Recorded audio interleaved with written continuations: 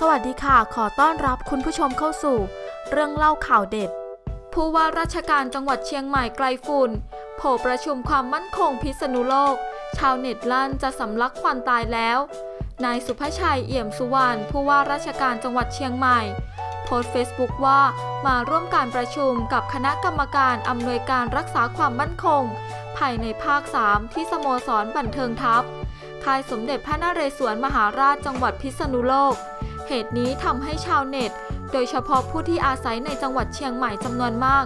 วิจารณ์อย่างหนัก เนื่องจากขณะนี้ค่าฝุ่นละอองขนาดไม่เกิน 2.5 ไมครอน ที่จังหวัดเชียงใหม่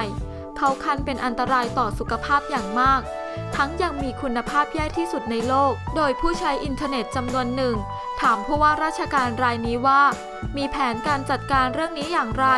เพราะที่ผ่านมาประชาชนยังไม่ทราบ ว่าได้สั่งการหรือทำอะไรไปบ้างแล้ว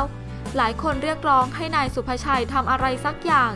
อย่างเช่นความเห็นนี้ค่ะ ที่บอกว่าประชาชนจะสำลักควันตายอยู่แล้ว อีกความเห็นหนึ่งเข้าใจว่าผู้ว่าราชการต้องเดินทางไปทำภารกิจ แต่ในเวลาเช่นนี้ ไม่ได้สั่งการให้ผู้ที่ปฏิบัติหน้าที่แทนเลยหรือ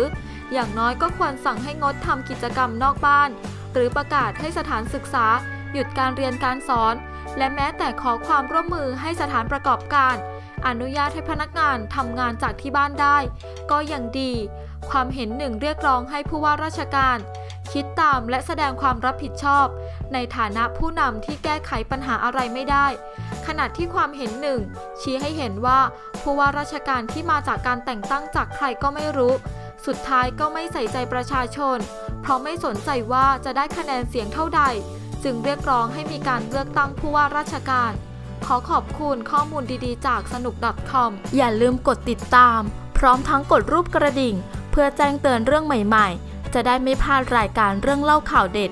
ขอบคุณที่รับชม แล้วเจอกันใหม่ค่ะ